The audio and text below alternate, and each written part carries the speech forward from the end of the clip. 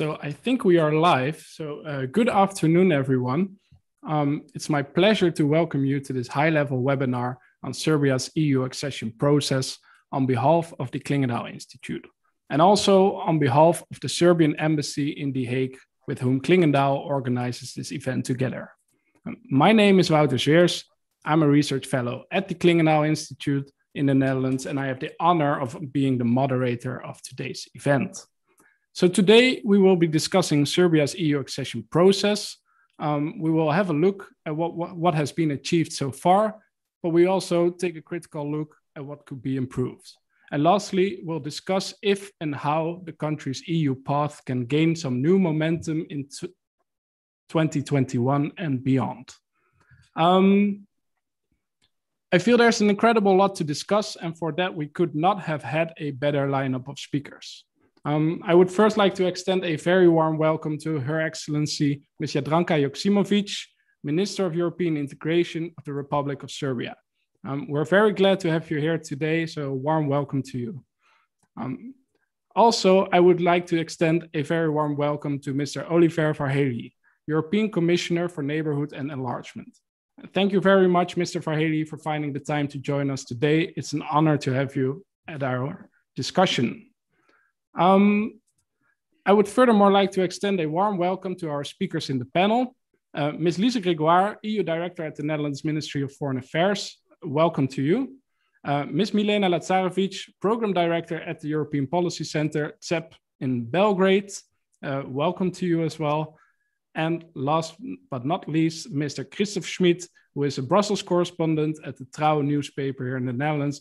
Welcome to you as well, and thank you all for joining our event. So this webinar is broadcasted live via Zoom and via YouTube, and would like to welcome all participants uh, on those platforms. Thank you for your interest in our event.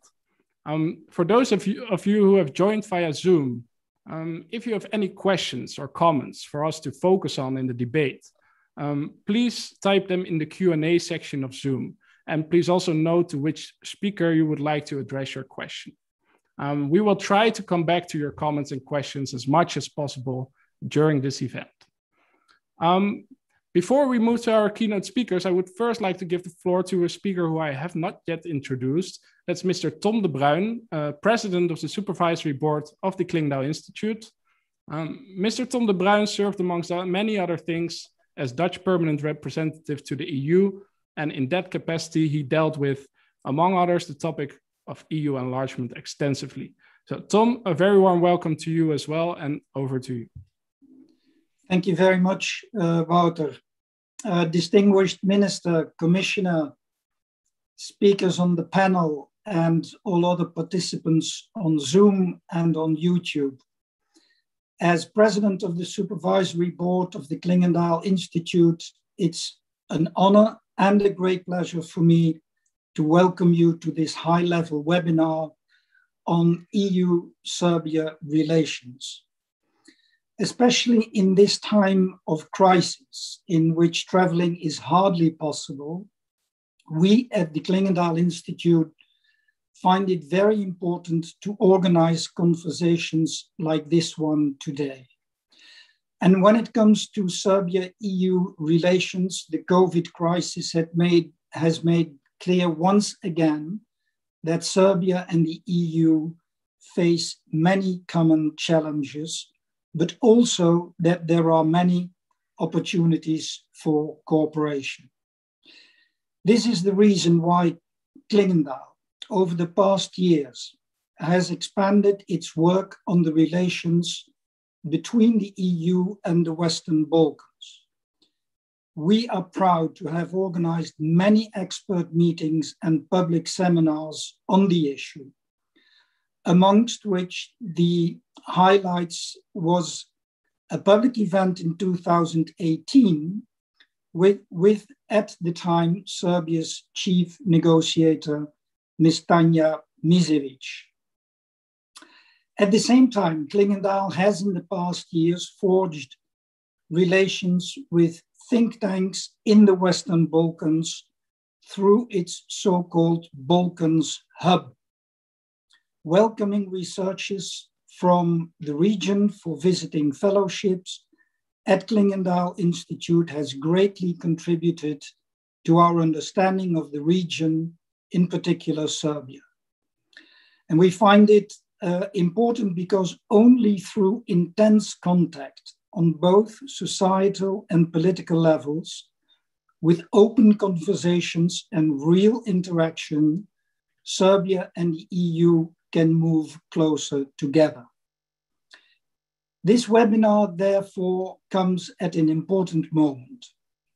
2020 proved a difficult year for the accession process of Serbia. No new negotiating chapters were opened. And just last week, the European Parliament adopted a resolution that welcomes Serbia's formal commitment to EU accession, but also highlights concerns on a lack of pro progress in the fields of democratization and the rule of law, the absence of a chief negotiator since 2019, and recent verbal attacks by members of the Serbian parliament to research journalists.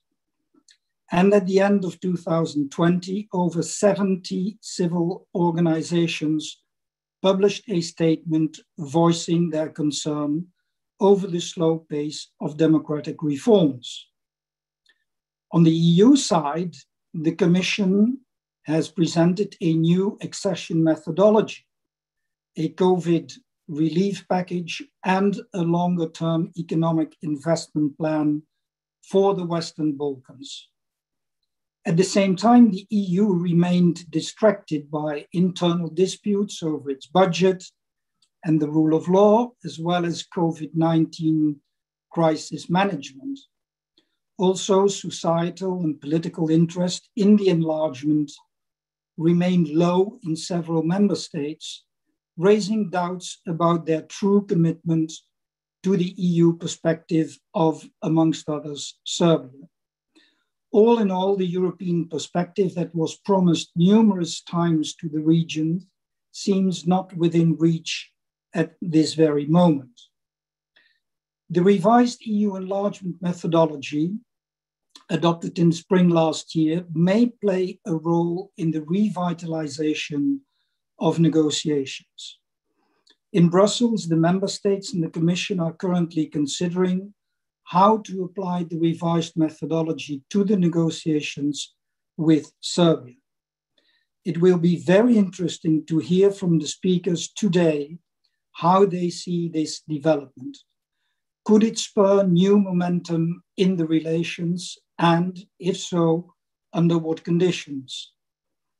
I'm looking forward to an open discussion this afternoon on the next steps in the EU Serbia relations. Thank you. Have a good afternoon. And Wouter, back to you.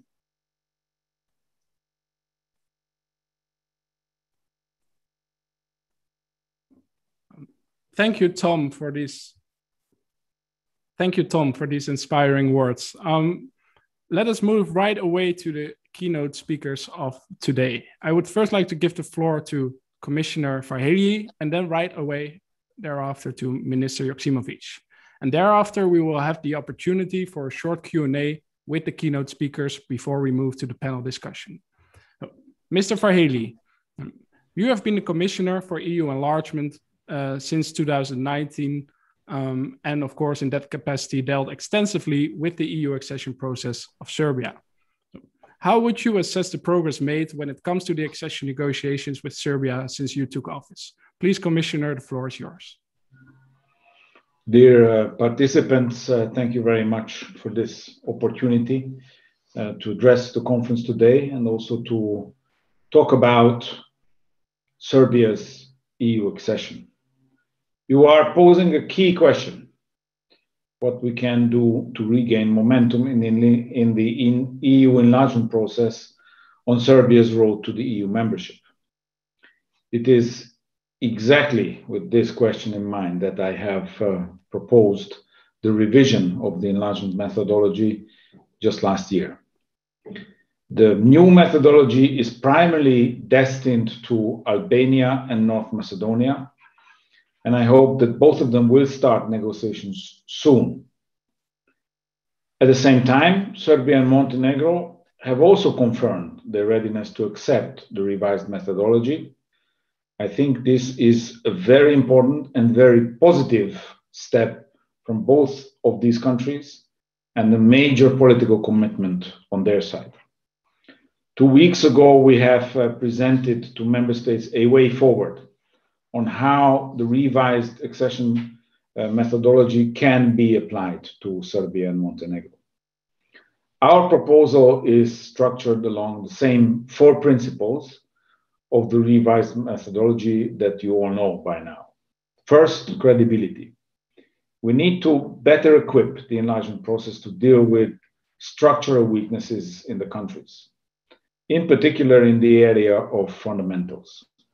This also applies to Serbia and Montenegro, where we will maintain and further strengthen the existing strong focus on fundamental reforms.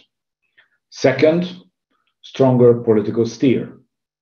Providing the accession process with a stronger political steer can only significantly contribute to the process from both Montenegro and Serbia, in particular at the level of intergovernmental conferences. Third, dynamism. Maybe this is the most important element when we talk about Serbia. A core element of the revised methodology is that in order to inject more dynamism in the negotiations, we can work on chapters, but can also be organized around clusters.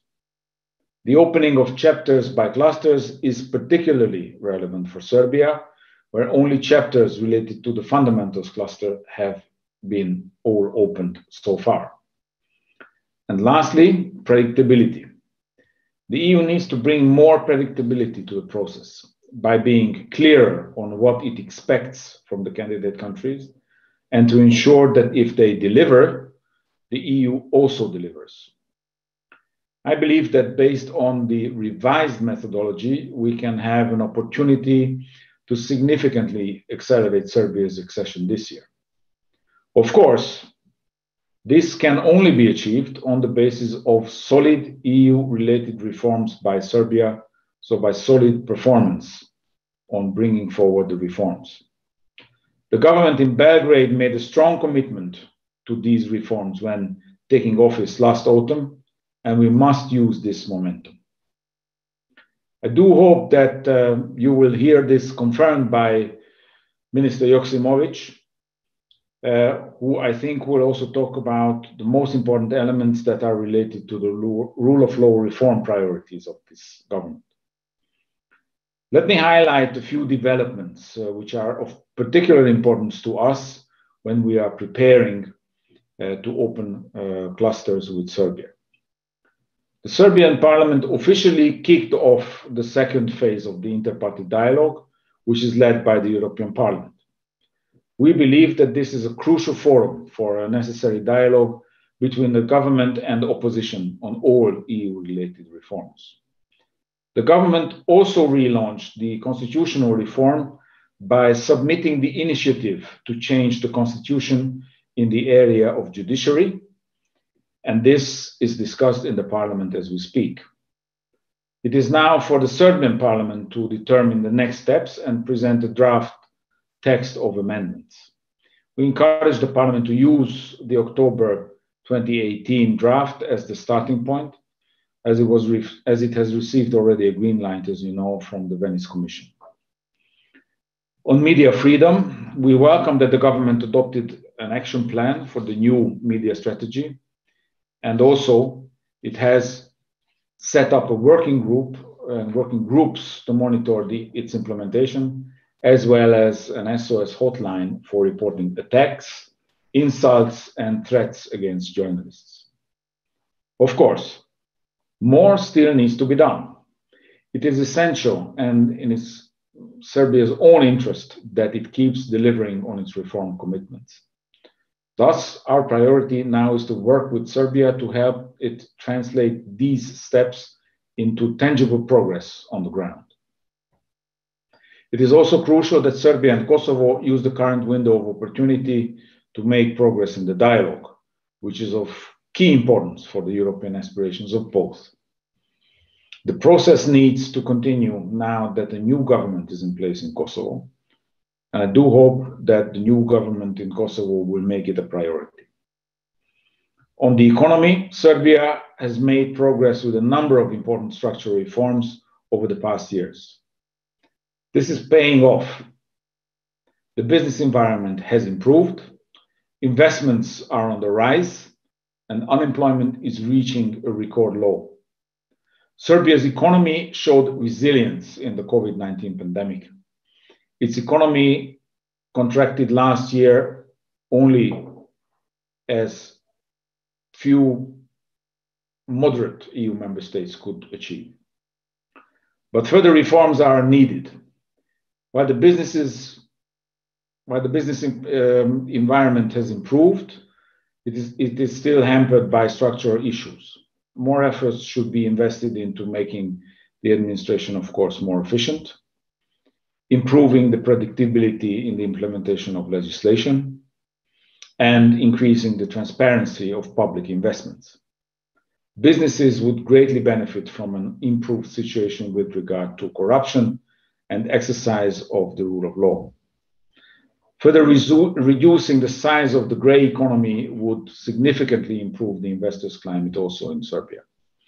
As it stands now, it poses a challenge in terms of unfair competition by unregistered companies. Further efforts are also needed to improve the transparency, assessment, and prioritization of public investments. It is crucial that Serbia delivers on these and other reform priorities. Bringing Serbia and the region into the EU is in our own, and not only uh, ours, but in the region's interest, because the political and economic logic that underpins the European Union applies equally to the Western Balkans. The COVID 19 pandemic has demonstrated to what extent we are interconnected. The pandemic has caused a lot of suffering across the world and also in Serbia. The EU has been standing with Serbia since the beginning and will continue to do so. This is why last spring we immediately provided emergency assistance and the 3.3 billion euros package to the Western Balkans, and we are now working hard on providing vaccines to the entire region as soon as possible. It is clear that the vaccines will help us to get out of the crisis. Serbia is conducting one of the world's fastest vaccination campaigns and is rightfully proud of it. The EU has supported the campaign with the hiring of additional health personnel and by purchasing equipment requested by Serbia.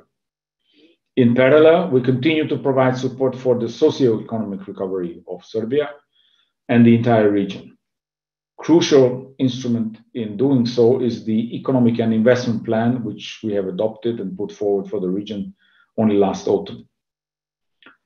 It puts priority with the governments of the region that we have discussed before coming forward with the proposal and I would also encourage, of course, Serbia and the region to make the best use of this package of 28 billion euros of funding that we have set aside for them.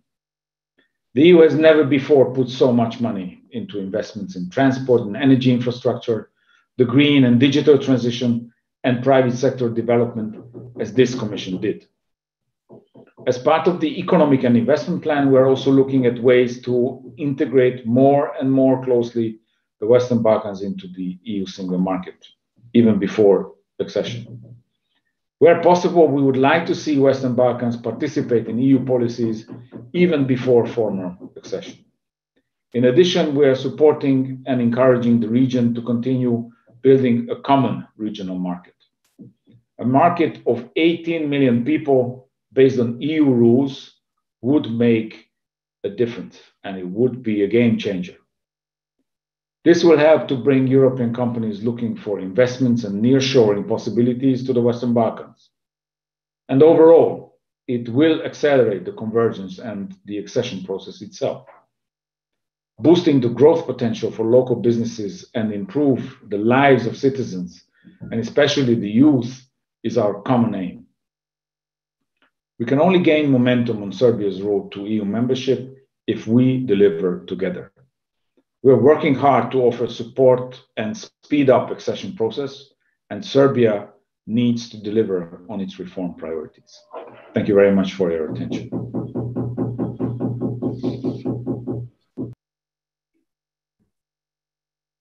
Thank you very much, Commissioner Várhelyi, for your very comprehensive insights. Um, you touched upon many elements in the process, and I also already saw a question popping up in the Q&A section. But before we move to a short Q&A, I would like to right away give the floor to Minister uh, Joksimovic, uh, uh, Minister for European Integration of the Republic of Serbia.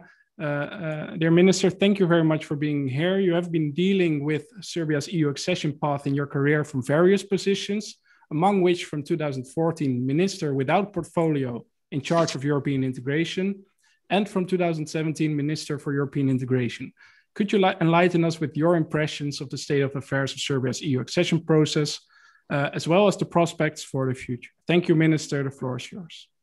Thank you very much, and thank to all participants, uh, especially to you, Mr. Zweers, but uh, as well to Commissioner Várhelyi and uh, to Mr. De Bruijn and all other participants. And um, sincere thanks and my real appreciations of the opportunity for discussing the relevant matters in the Serbia's EU accession process offered by Clingendael Institute, known as a great environment, which means uh, the online one as well, of independent thinking and innovative research and teaching on international relations and diplomacy.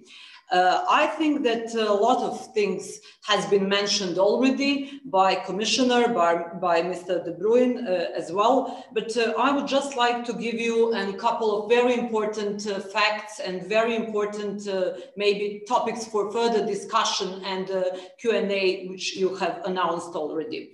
Uh, first of all, when we speak about Serbia's accession process, sometimes even in Serbia, but I can notice that all around Europe, uh, even among old member states, that sometimes we hear about association process. Serbia has become associated member when SAA agreement uh, was put in force uh, in 2013. So we are accession country or acceding country. Uh, and sometimes we have a lot of terms that we are using and that they are circulating among um, uh, region, uh, EU member states, etc. And we never discuss the real meaning. On the other hand, I have heard that chief negotiator, for example, for years were, was uh, Mrs. Tanya Miščević. Chief negotiator was from the very beginning, I was the chief negotiator negotiator because there is a difference in Serbian uh, old uh, and, and new one uh, law about the chief of negotiation team, which was very important during the screening process and technocratic issues. And the chief negotiator was always a member of government, being a minister for EU integration. And today I'm still a chief negotiator, as I was six years ago when I took my first position.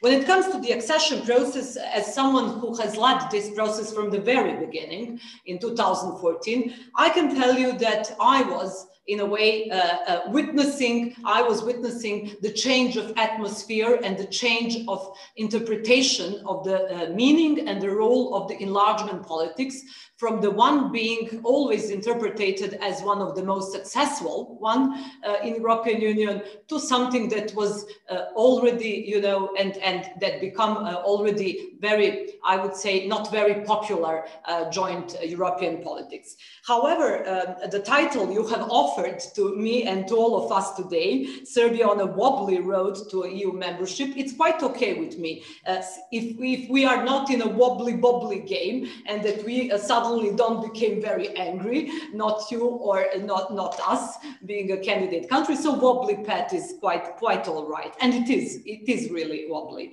Uh, when it comes to the new methodology, I would like to tell you something which uh, you will also never hear very often uh, among the European circles. Actually, Serbia and our president and prime minister, we have accepted new methodology uh, in, uh, I think it was July or August last year, without knowing at all how it will look like, what would be the content, and how it will be applied to already acceding countries. That means that we have shown significant, uh, I would say, level and, uh, and a strong uh, confidence in the good intentions and the good manners from European Union when it comes to the enlargement and when it comes to uh, all, let's say, candidated potential candidates from the Western Balkan, but also when it comes to Serbia. So we were very keen to accept that. To be honest, I was very cautious, not because of the possible content, but because of what happened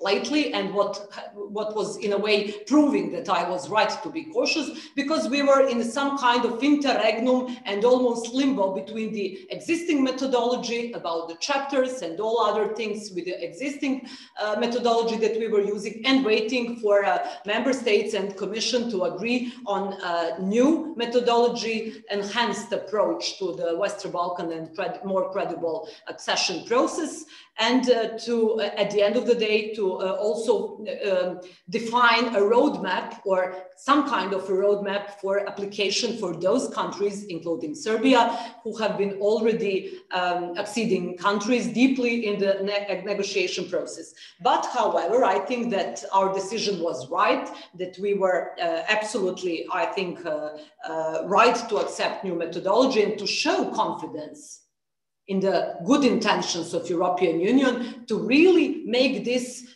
process, which became in one moment sclerotic bureaucratic process and turned into a more credible, politically guided and um, uh, politically steered process, both from European Union and from candidate countries or acceding countries.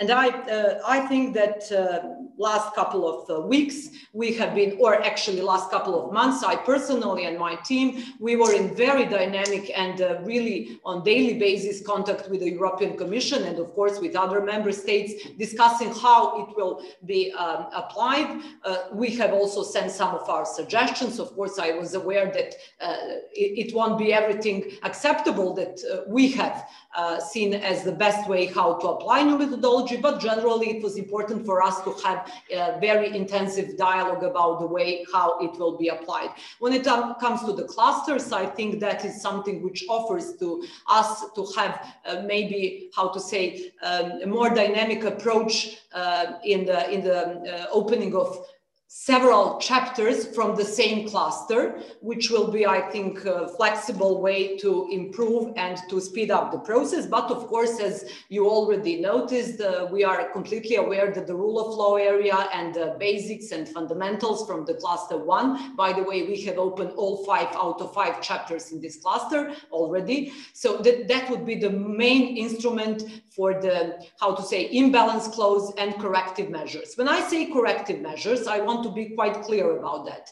Serbian existing negotiation framework predicts only for Serbia, not even to Montenegro, but only for Serbia, very strict, very stringent criteria for imbalance clauses when it comes to the uh, chapters 23, 24, or let's say rule of law chapters, today cluster one, fundamentals, um, then also for the normalization of the dialogue between Belgrade and uh, for, uh, throughout the dialogue uh, Belgrade-Pristina, um, reconciliation, uh, regional uh, regional cooperation, etc., etc. So all chapters that we have already opened, uh, 18 out of 35, according to old methodology. It was not impossible to open a single chapter if we haven't had a good assessment on the progress on the rule of law in the area of rule of law. So these criteria have been already very strict and stringent for Serbia. That's why we insisted that, and by the way, that was a gentleman agreement that we will not change the existing negotiation framework for, the, for, for Serbia. Still, I think that it is very important to mention that our part of imbalance clauses was also something that no other country has, and it is a highly political issue for us, very sensitive and very difficult for us, which is a normalization. And I saw already one question being, uh, uh, you know, asked uh, for the normalization of Belgrade uh, and Pristina relations throughout the dialogue facilitated by the EU. So just want to say that it's not something completely new for us, but now we understand that it is additionally underlined and that uh, additional uh, attention will be paid to the uh, rule of law area freedom of media, uh, uh, prevention on corruption, struggle against organized crime, judicial reform, which is very important that Commissioner Várhelyi mentioned already. And I'm very open and ready to answer all potential questions about that because we are really introducing, even during this pandemic, terrible pandemic challenges to the all to, whole the world, I think, and the, to the whole of Europe. I think that uh, we haven't forgot that we haven't forgotten our uh, responsibilities when it comes to the reform process, and I can credibly confirm to you that a lot of things has been uh, already done in the different area uh, of the of, the rule of uh, rule of law, let's say cluster. So uh, when it comes to the future steps, also Commissioner mentioned, according to the new methodology, new format for the IGC, inter, uh, let's say intergovernmental uh, conferences. Uh, and I think this is the best way how to find a proper place for a strategic political high level dialogue which will offer to EU and the member states, which I think that now nowadays, according to the new methodology, will have more influence and more insight in the accession uh, uh, process. And uh, that would be a proper way and proper place at a high level discussion of, uh, about the expectations, clear expectations from EU member states uh, to Serbia as a acceding country. On the other hand, for us to uh, really to uh, very, uh, I would say, openly and frankly talk about our position on different issues, uh, about a lot of challenges that we are facing as well, and to see how we can continue our um, EU accession process more, more efficiently. So looking forward to organize um, uh, hopefully till the end of the Portuguese presidency, uh, to have this high level IGC. And I think um, it would be good to open a cluster, some of the cluster. We are already preparing a different uh, benchmarks for clusters three, which is a competitiveness and inclusive growth, and for cluster four, which is a Green Deal, digitalization, and uh, uh, transport infrastructural interconnectivity. But just one word more, uh, and I hope that during this IGC, we can, no matter if we open the clusters or not, that we have to actively um, I think, uh, understand each other and actively engaged in the accept acceptance of the new methodology and how it will be applied in the further process.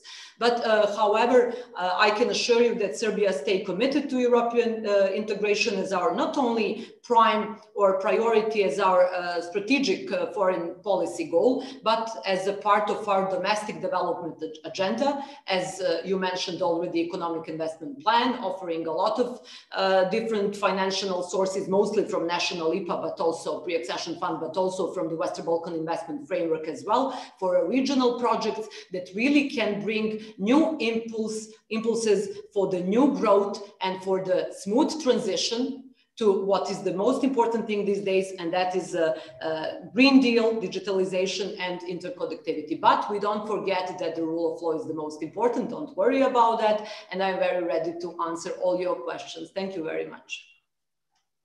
Thank you very much, Minister Joksimovic, for clarifying the position of the Serbian government. And thank you also for clarifying the issue of the uh, chief negotiator.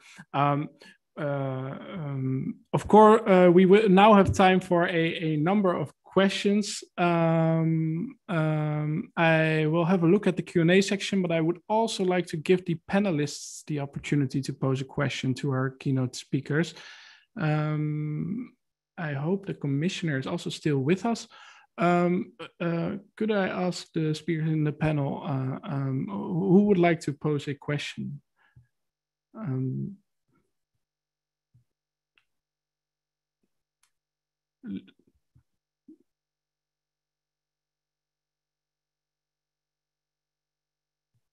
Um, if there's no question from from the panel at this point, then I will first um, um, uh, pose a question myself. Um, uh, Ms. Joksimovic, um, you you in your introductory remarks in your keynote uh, statement, you touched upon the length and the and the depth of the of the accession process, and um, often as think tankers, we often criticize uh, the EU for the accession process for its slow pace. Uh, um, also, maybe that uh, conditionality during the pro process has become increasingly demanding. And as we all know, uh, the European Council already signaled the EU membership perspective to, to, to the region all the way back in 2003. So my own impression is that the longer and more complicated the process becomes, there is also some more disillusionment uh, among among Serbian citizens. Uh, uh, would you agree that the length of the process in itself has become a problem? And uh, if so, what could the EU do to counter this potential disillusionment? Um, yes, please, uh, Minister. Yes, yes, thank you. Thank you for the question. And it needs uh, to be uh, clarified uh, why this Euroscepticism has shown uh, its face not only to Serbia, but generally to the region. But when it comes to Serbia, I think it's very important to understand that after the 2000, the year of 2000, and after the so-called democratic changes in Serbia being uh, in power, uh, pro-European, declaratively pro-European parties, you know, they offered to people a lot of false expectations. You know, in Serbia, there was in one moment uh, in 2003, for example, that we will become promises that we will become a member state in 2007. So then we will have a, we will be a full member in 2000 uh, nine and then in 2011. So you can imagine what kind of, uh, and by the way, we have, uh, we have, uh, you know, signed the uh, SAA agreement, uh, let's say in 2009 and uh, then you know you can imagine what kind of uh, false expectations and misguideline uh, misguidelines uh, were offered by some of very so-called pro-european parties here in serbia. And of course uh, then uh, european union faced with the newcomers and the new member states which became if i understood quite well all my partners from european union for last six years not being very functional and in full preparation for the full membership, meaning the relatively new EU member states, which means then on the both side, from EU and from Serbia, there was some kind of, uh, I would say, mis misperceptions about uh, about uh, uh how to say. Um, uh, on one hand, what do you expect from a future uh, member state. On the other hand, for all those uh, false expectations from the Serbian citizens that were in a way, you know, um, uh, that, that led to the uh, more Euroscepticism uh, among the Serbian people. Not, but I don't want to uh, avoid to tell you something which is actually the only truth about the European, I would say, Euroscepticism here in Serbia. Very difficult topic for our citizens is a, normalization uh, let's say, process with Belgrade and Pristina throughout the uh, mediation, role and facilitated by European Union. So many of people uh, in Serbia directly link, uh, make uh, in their minds link with the necessity to recognize or uh, independent Kosovo, which is not our position and that we don't clearly don't want without uh, meaningful dialogue and meaningful agreements and meaningful compromises.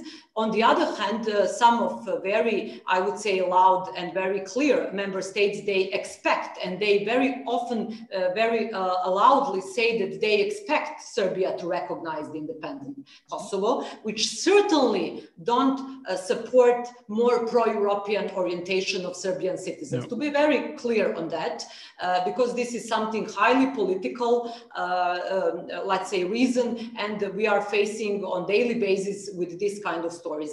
But generally, I can assure you that, the, and I will uh, end with this uh, with this sentence.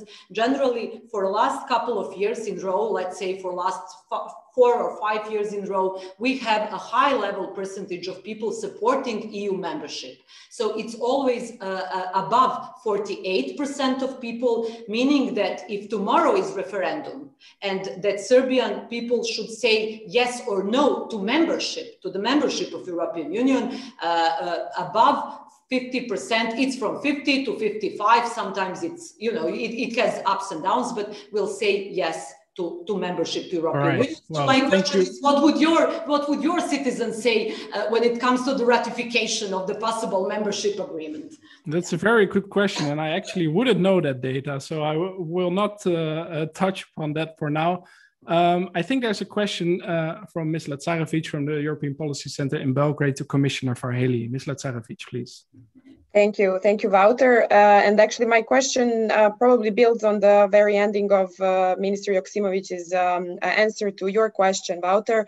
Um, I wanted, to, I would like to ask um, Commissioner Várhelyi, um, what what do you uh, see as the most important, um, um, let's say, approach or the most important action to take in order to persuade the European Union member states citizens uh, that the accession of um, uh, Serbia and the rest of the Western Balkans to the EU is indeed beneficial not only for the region but also for the EU uh, itself. Is it, in your opinion, mainly about uh, better communication of what is already being done? Do we need um, a change of the image of the Western Balkan countries? Uh, or uh, is it more about the actual lack of uh, substantive uh, progress or substantive improvement in the Western Balkan countries uh, that the citizens of Western European, especially Western European uh, member states can see and feel? So we know that support to EU, to EU enlargement was not particularly high also even in the case of the Central and Eastern European countries. it was usually in some Western EU member states um, uh, even below 50% at that time, but still it was higher than it is nowadays in case of the Balkans. So what, what is there to be done? Is it more about communication of what is already being done, or do we actually need to show more progress and more and persuade the EU citizens that the Balkans are the good guys? Thanks. Commissioner, please. And, and just, I'm looking at the clock, so let's try to, to to um, um, uh, also move towards the panel in a couple of minutes. Thank you, Commissioner. Okay, I would, I will, I will try to keep it short. Although this is a, an academic question, I would say, uh, but this is the core of the of the uh, of the issue I had to deal with when uh, when took over from the previous commission. How uh, to uh, make the whole process more credible. So if you look at the four principles of the of the renewed methodology, you will find the answers. These these four principles are the answers. And in that, of course, um, it's not only that the Western Balkans uh, um, needs convincing uh, that its future is in the European Union, but also our member states need need convincing, and that was the for me that was the biggest challenge uh, when I took over. And in doing so, um, there are two main areas, or, or maybe three. Uh, communication is, is, only one element of it. Communication is uh, is the vehicle through which we can improve uh, uh, the possibilities. But first of all, we have seen um, that in some of the member states, the public itself uh, has questions uh, about the usefulness of uh, welcoming the Western Balkans in the European Union. To, to make it absolutely blunt, um, I mean, we are in, after all, we are hosted by the Dutch, so we can yes. go blunt. Uh, so uh, we need to, to gain their trust, and their trust can only be gained through progress on the ground, meaning cracking down on organized crime, meaning improving governance, meaning uh, improving the predictability of the whole process so that this is not just some administrative processes uh, run by people who are not uh, liable or responsible to anybody, but at some point they will say, oh, well, everything is done. You don't have to worry about it. You just have to say yes. This is not how it is going to work. And, and this is what we have to understand, I think. And then that, that was a, it's a sobering moment, I know. It was a sobering moment uh, for the Western Balkans, and it is a sobering moment also for our member states. But I'm glad that uh, we have passed that sobering moment. And the answer is in the new methodology. The second is um, how should I put it in a, in a, in a very simple way, uh, how I have put it to myself. is that, of course, uh, you rebuild trust with your neighbors because the Western Balkans is our neighbor, the closest actually. We are surrounding them, the European Union is surrounding it, is by actually um, making sure that the lives we're living are not only comparable, but um, are becoming um, the least different from one another, meaning in our economic and uh, social realities that we are uh, getting closer and closer uh, through the enlargement process. To give you an example, um, to raise the trust of our companies that it's not only safe, but it is also worthwhile uh, to invest in the Western Balkans is one of the key factors through which we can convince also the public of, of the member states, including the most skeptic ones. Because if they go home and they say that they have a good business environment, uh, they have comparable uh, um, possibilities of accessing markets uh, as they have in Europe, they have good workforce uh, in these regions through which uh, with whom they can work. And that it is after all a successful investment uh, for them. This will bring back good news also uh, for their own uh, member states. And these are the good news we need. And also if we can if we can demonstrate uh, to the public at large that given the fact that there's a catching up in the economic development of the region with the European Union, and therefore there is no disparity that could trigger uh, uh, difficulties we have seen with the previous enlargement, the, the, the last two enlargements, uh, then there will be uh, more ease on the side of the of the public of the member states. So thank you, Mr. And the third would be the, the third would be the, of course the, the communication, but you know first we have to deliver on the ground. Thank you very much, Mr. Commissioner. And uh, looking at the clock, I would like to turn uh, uh, right away to uh, our panelists uh, who have been patiently waiting so far. Uh, um, Ms. Lise Gregoire, EU Director at the Netherlands Ministry of Foreign Affairs. Um, the member states have already been touched upon a number of times in our conversation so far. And the Netherlands is, of course, seen as a rather, well, critical member state when it comes to EU enlargement. Um, um, could you maybe provide us with some nuance regarding that Dutch position towards the enlargement in general and the relations with Serbia specifically? Thank you. Thank you, and thank you very much for inviting me to this uh, to this uh, important discussion. And uh, um, it's unfortunately we we can't meet in person, but uh, I'm happy we can have this discussion online. Uh, and I think it's a very timely discussion because we have seen uh, some very positive developments, like the commissioner and and Minister Joksimovic has been highlighting. Uh, and um, but there are uh, some some concerns that remain, and I, I will touch upon that uh, later. First of all, and I know that the Serbian uh, embassy was also part of the organization of this uh, this meeting. So, uh, and I want to highlight the strong bilateral ties that we have between Serbia and the Netherlands, and um, uh, if you look closely, you see that the, the Dutch trade is increasing uh, and now up to like 1 billion euros a, a year. Um, and the Netherlands is the, lar the largest source of uh, foreign investments in Serbia at this moment. And you see Dutch companies present in, in almost every sector in, the, in, the, in Serbia. And I think that is a very uh, important sign of our engagement. Um, and furthermore, of course, and we've been talking about this, Serbia is a candidate country, and that is, means that our relationship is, is special.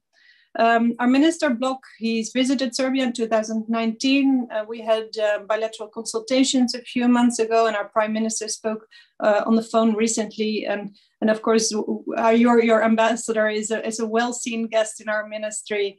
Um, so I think the, the relationship in general is, is friendly and important to both. And I want to stress that uh, at, uh, at the outset.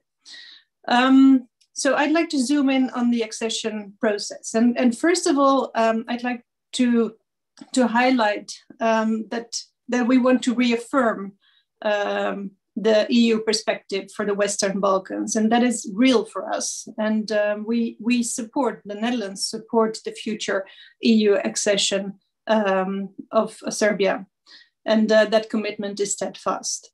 Um, And for us, being a member or as an aspiring member of the EU means um, a membership of a family of values. And I think, and you, you said, Wouter, at your introduction that we might be critical for enlargement. I think we are mainly critical when it comes to rule of law, and, and it plays out also in the domain of accession. So you, it means being part of a family of values, of the rule of law, of governance, of laws and reg regulations. And this is not an abstract thing.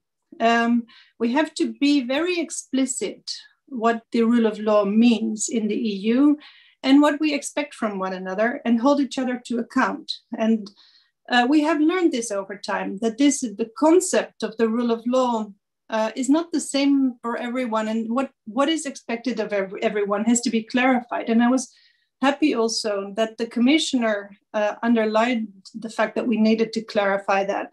And he also underlined the element of trust because only through uh, functioning rule of law within the European Union, we can have the mutual trust to make the EU cooperation work. So it's mainly from that perspective that we also look at enlargement.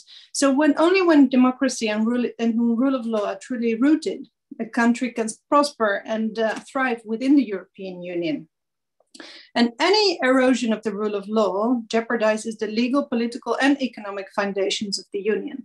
And as we're our economy and our like every system is so intertwined with the European Union, for us this is, is, is a key element. It's like the foundation. We have to get the foundation right in order for the rest uh, to work. So it's important not only for like as a theme as such but also like when it comes to the functioning of the internal market to climate policy uh, the schengen uh, cooperation and so on.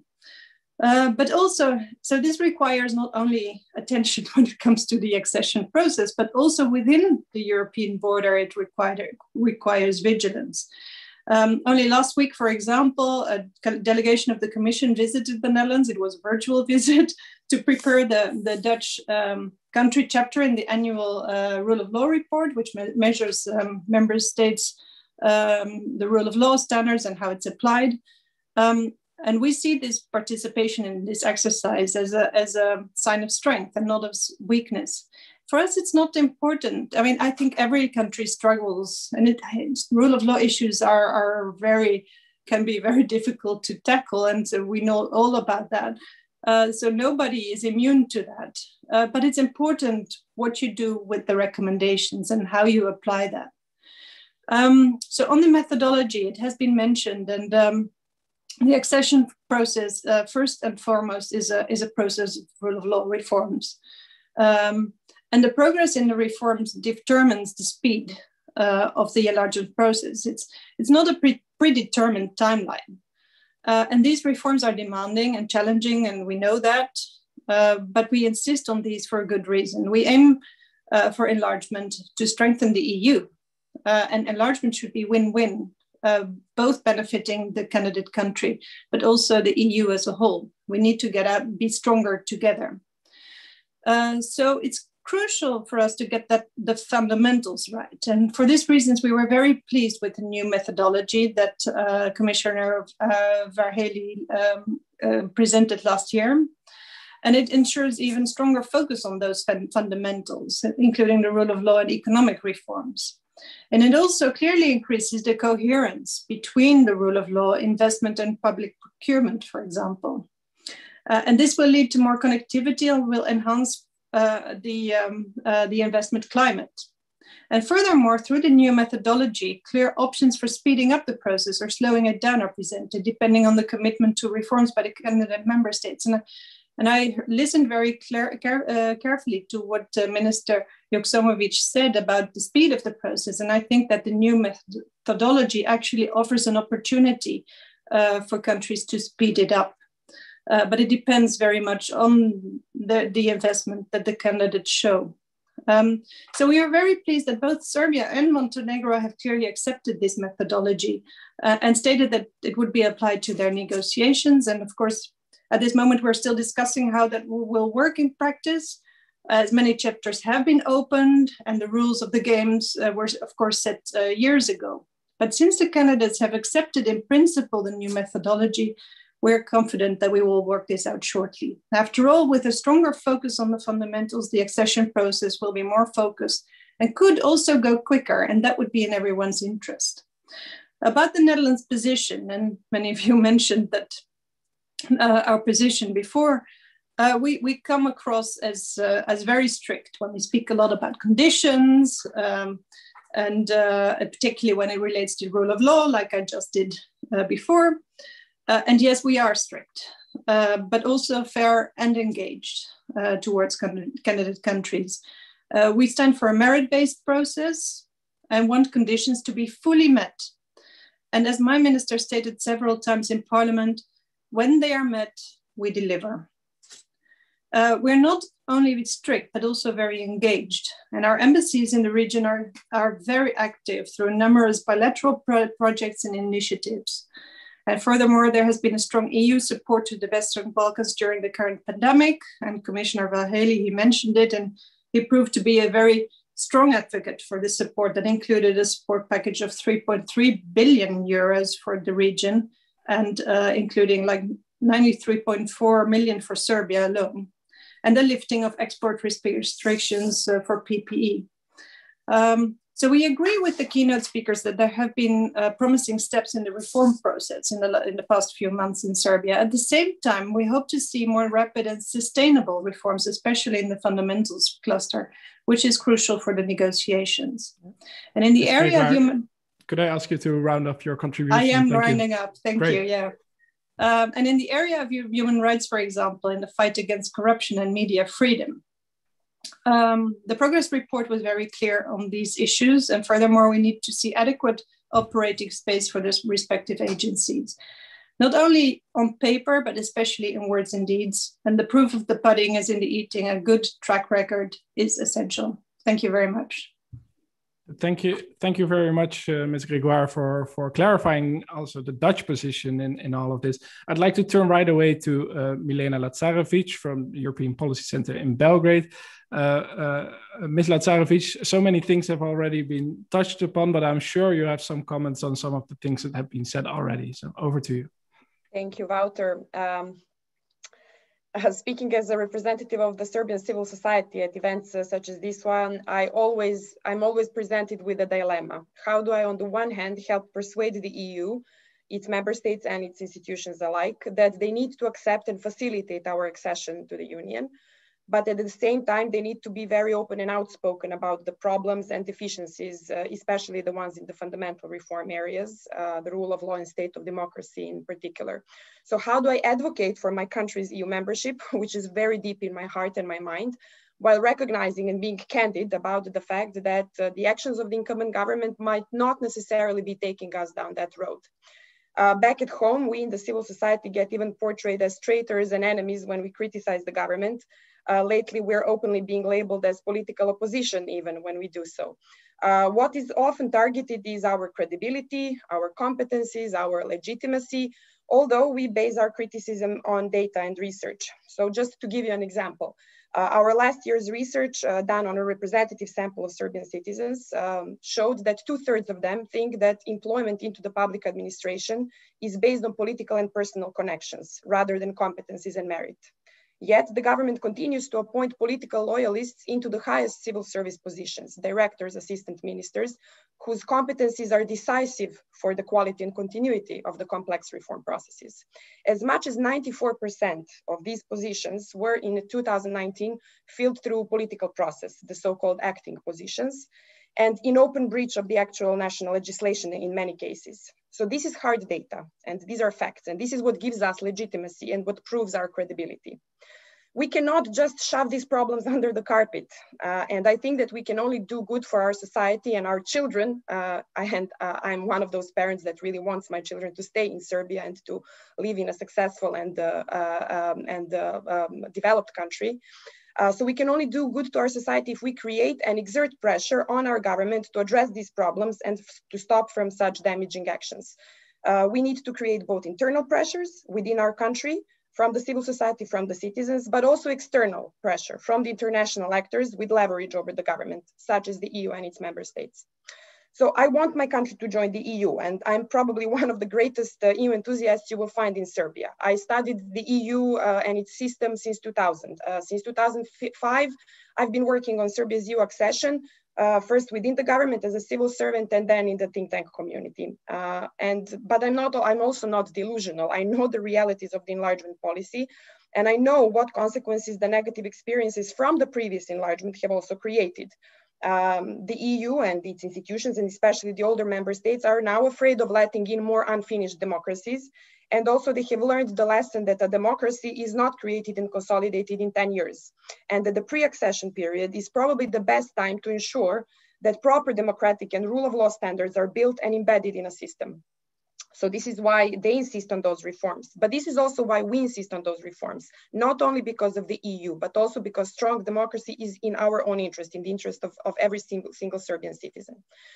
So where can we go from, from here? Uh, it is my belief that uh, we need a much clearer and more strategic communication from the EU. That's on the one hand, Serbia's place is in the EU. The EU is incomplete without the Balkans, but that the actions of the current government might not be right and are not properly, let's say, taking us in this direction. The lack of progress cannot and should not be blamed on the Serbian people. And I think this is very important to stress in the case of EU member states with populations uh, which are not supportive of our uh, EU membership. So these, it, it needs to be clear whose fault or whose responsibility is that the process is not advancing. Um, and although the government in Serbia, which you know many of our listeners uh, here and the attendees might think the government is elected by the people, uh, the government does borrow its legitimacy from external support too. So glorification of political leadership, uh, which has sometimes or even frequently been practiced by presidents, prime ministers, and other high-level officials from the EU, creates a sense here at home in Serbia that those who criticize the government actions are bigger Catholics than the Pope, that we are somehow dishonest, that we're not working in the best interest of our society. So in order to create a clear sense of responsibility for the current state of affairs and for the stagnation which we are experiencing in the process, we need the EU to be more outspoken about our belonging in its family, while at the same time being very clear on whose responsibility it is that the process is stagnating. And moreover, and I know that this might seem contradictory at first sight, but please bear with me as it is not, we need the EU to ensure that the process can indeed go much faster, that the promise of the process is much, much uh, more direct. The new methodology truly needs to deliver on supporting a much more dynamic accession process. And I was actually hoping that before the, um, uh, the methodology was, uh, was published, that, that it would actually promise even more um, we need to uh, the, the, possibility of membership to really be just around the corner for a country that makes fast progress. And I think this is where the Netherlands can contribute and can help. Just like it was for the uh, Central and Eastern European countries, uh, and for instance, for Slovakia, which in, in early 2000s, after the Mečiar government, as a latecomer in the process, made very quick progress and joined already in 2004. So we need the process to include real and tangible benefits for the citizens and as well as substantial investments and development aid. Some of those investments which uh, uh, have been promised are already mentioned, but these investments and these, these development aid also needs to be restructured in order to increase with the progress in the process, so as to create additional stimulus uh, throughout the process. As the country moves closer, the aid and the investments should be growing. The money invested in real progress in the Western Balkans will not be wasted money for the EU's net contributors, such as the Netherlands.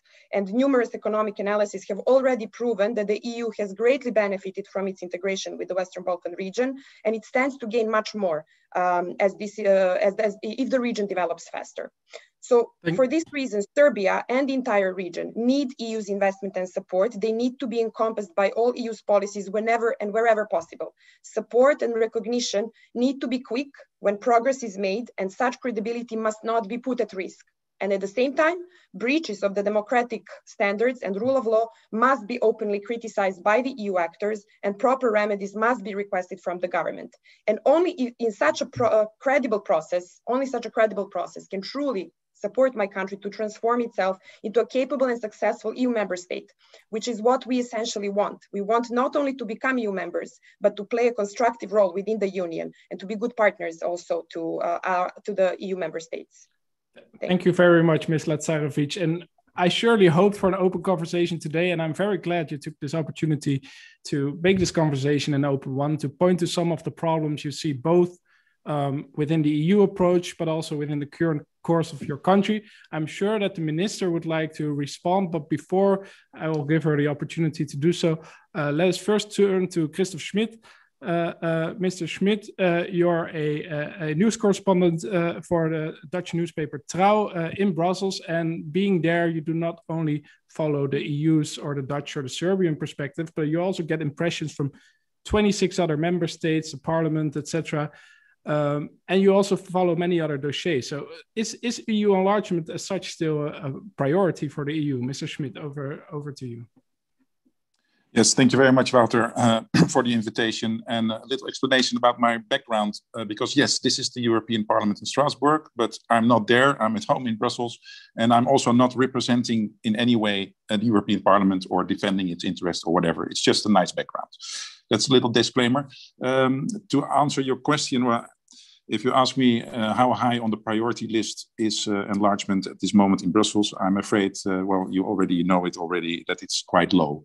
Uh, when you look at the big issues that keeps uh, the EU institutions busy, but not only the institutions, but also the citizens of the European countries, well, they are all well known. It's the pandemic, it's the economic recovery from the pandemic, uh, we have a fallout of the Brexit, which is not only an economic issue, but um, uh, it's also was a psychological very big blow that uh, member states left the union. So the countries are still getting uh, to grips with this uh, phenomenon, uh, and they don't want to think about enlarging.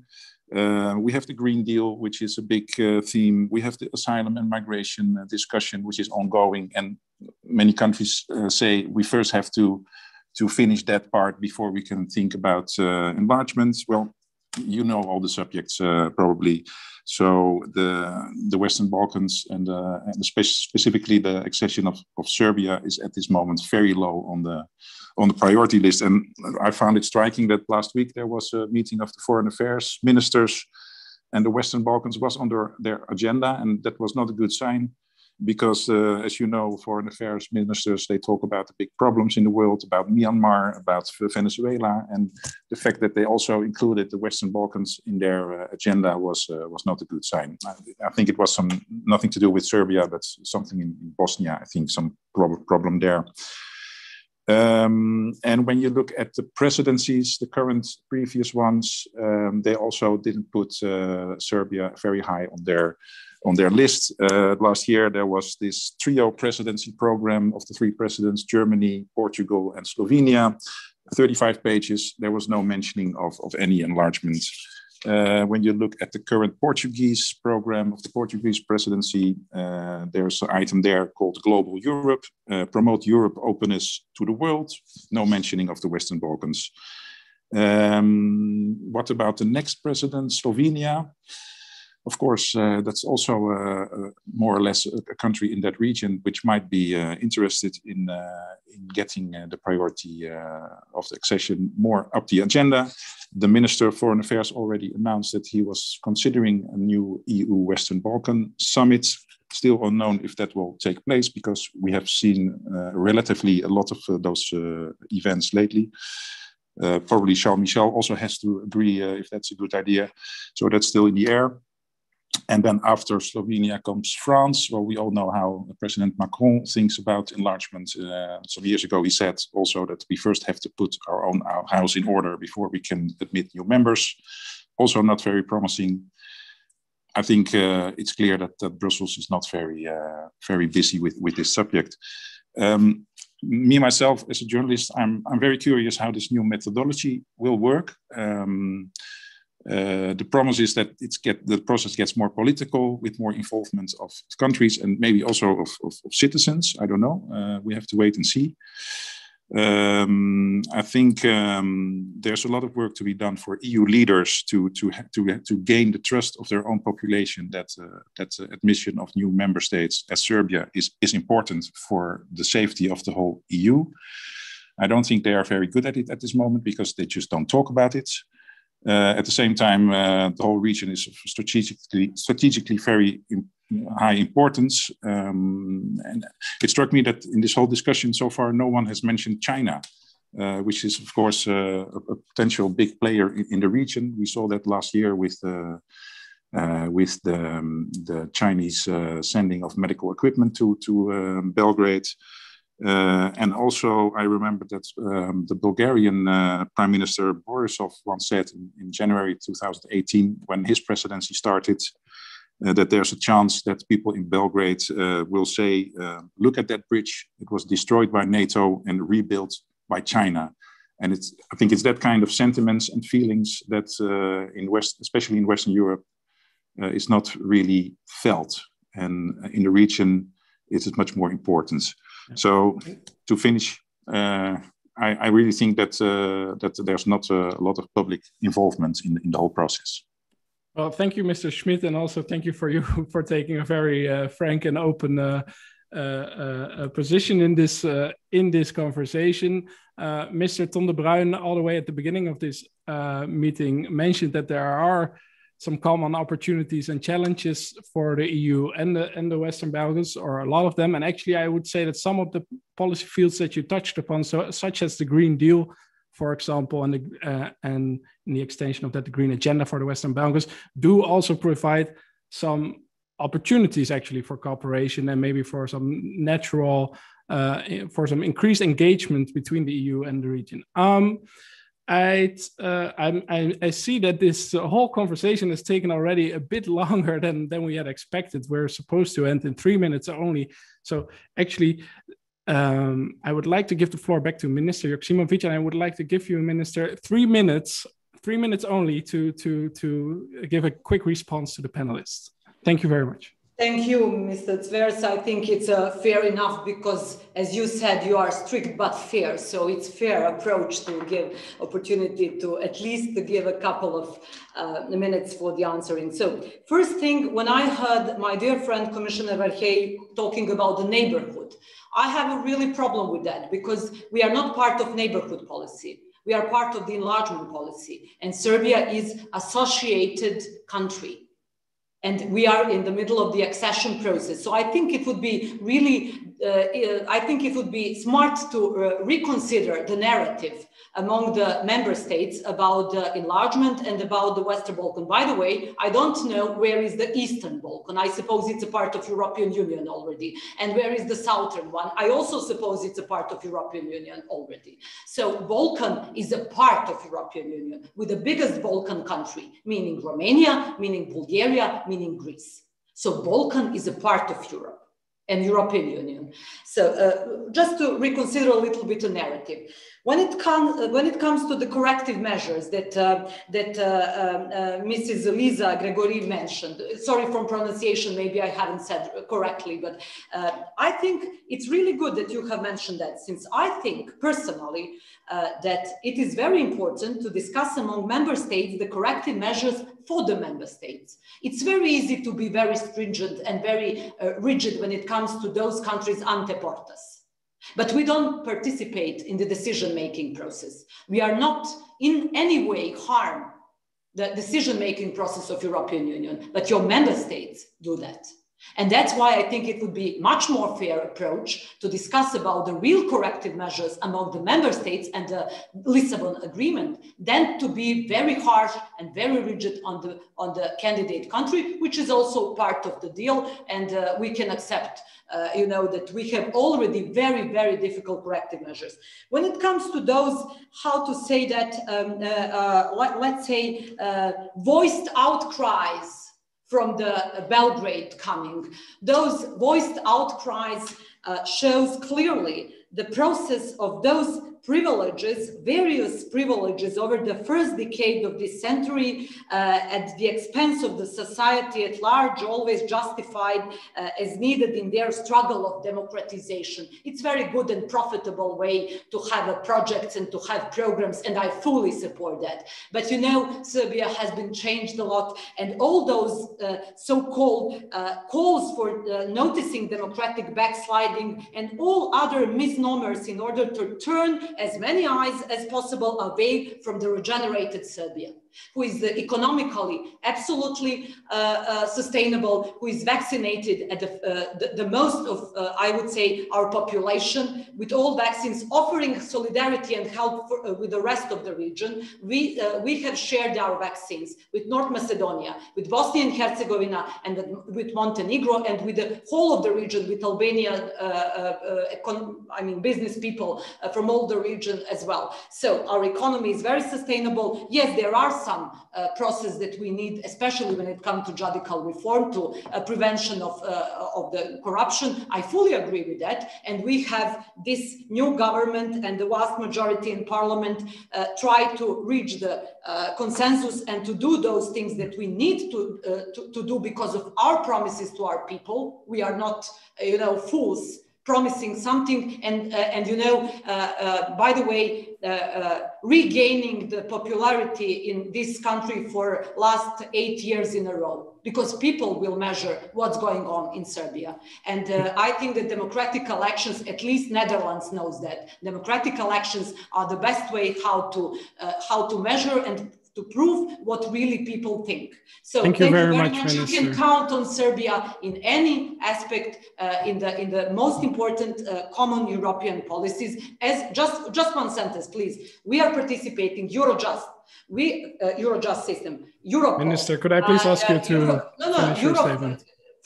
yes. Okay. Frontex and all other deeply and I would say very importantly, those days, European policies. So you can count on Serbia. Thank you. Well, thank you very much. And that's very reassuring to hear. Um, I'm looking at the clock and I think we should round up. But before we do so, I would like to give the panel uh, a, a, final opportunity to, to, to make a final comment in uh, just one minute each. Um, um, so uh, really maximum one minute. Is there anyone in the panel, uh, Ms. Gregoire, Ms. Lazarevic, Mr. Schmidt, who still would like to make a, a final point? Um, Mr. Um, yeah, well, maybe we didn't mention the conference on the future of Europe. That's, that's also something that that is something of the Brussels bubble, and I don't think many EU citizens are aware that something like this exists. Yep. Um, but it could be interesting uh, to follow in what way the enlargement uh, issue will uh, creep in this, this discussion. My idea is that until now it's not an issue in, in this conference. Um, and I'm not sure if citizens will bring it up, but uh, it could be interesting. Could be interesting indeed, and we'll make sure to to follow that closely. Uh, Ms. Gregoire, Ms. Lazarevic, I see you raising your, your hand first. So first Ms. Lazarevic, and then the final words to Ms. Gregoire. Thank you. Well, um, thanks to Mr. Schmidt for mentioning the conference on the future of Europe. And I was hoping actually that he would mention the necessity and the real need for the region to be included and involved in this process as the candidate countries were involved in the uh, in the similar process which was going on with the convention uh, back uh, in the early 2000s. So far, the joint declaration between the EU institutions has not uh, mentioned uh, uh, including the Western Balkans in this process. I doubt that enlargement policy as such will and the enlargement process will come up as one of the main priorities of the citizens of the EU in the process. But I think that for the sake of really creating a sense that the Western Balkans uh, belongs uh, in the EU, uh, that it would be important to give uh, Western Balkan countries observer status uh, and uh, some sort of a you know observer but active participation in this process. And I really do hope. I mean, I've advocated a lot for this around the EU and in EU institutions. I hope that this will still come true. Thank you very much, Ms. Lazarevic. Uh, Ms. Gregoire, what, what do you make of today's discussion? How would you like to end? This is your opportunity. No, thank you. No, thank you. This was very useful. And actually it is it's very comforting. I see a real commitment uh, and, uh, and, and and we really trust um, to to to see continuous changes in the coming period and engagement on reforms. And and if if you ask me i think there's a huge opportunity for the serbian government uh, in front uh, front of you. And uh, so if you continue on this path and um, and if you continue to deliver and show progress on the ground and bring a full track record uh, uh, in front of us. I think that that can bring you, Serbia, with all your potential, closer to the end goal of joining the European Union membership. And, and I think that is in our joint interest. And after all, the brightest future of the citizens of the citizens of Serbia lies in the European Union. So let's continue to work on that. Thank you. Well, thank you very much, Ms. Gregoire. Um, uh, please allow me to, as the moderator of discussion, also give my own assessment of, uh, of today's uh, uh, uh, conversation. I think a somewhat mixed picture emerges. I mean, the the commitments as expressed by by the keynote speakers and, and, and the other speakers here in the in the in in this meeting are very pro promising and it's reassuring also um, looking at the audience that so many people joined us today here in this uh, in this meeting which shows that there is actually an interest in the enlargement file here in the Netherlands and and beyond um, at the same time I, I cannot uh, avoid but to conclude that there will be some very difficult steps also ahead of us uh, uh, of us in um, in uh, in the accession process of Serbia. But um, one thing that I think almost all speakers agreed on is that the um, revised accession methodology may just about uh, may just be uh, uh, an opportunity to accelerate the process and to make sure that the benefits of EU enlargement will be felt all over Serbia and within the EU as well. So uh, with those words, I would like to very much thank our keynote speakers and our panelists for this for your informative insights and sharp views. Um, I strongly enjoyed discussing these issues with you, and I would also um, uh, like to thank the audience for being here with us uh, today. Um, lastly, uh, special thanks to the Serbian embassy here in The Hague for great cooperation in organizing this event, and also major thanks to my colleagues at Clingendael, without whom this would not have been um, possible. Um, this discussion will remain available on YouTube, and we hope to organize many more discussions like this one. If you would like to stay up to date on the activities of Clingendael, uh, please subscribe to our newsletter via, uh, via our website, uh, www.clingendael.org. Um, thank, you, thank you all again for participating, and I wish you a great evening. Goodbye.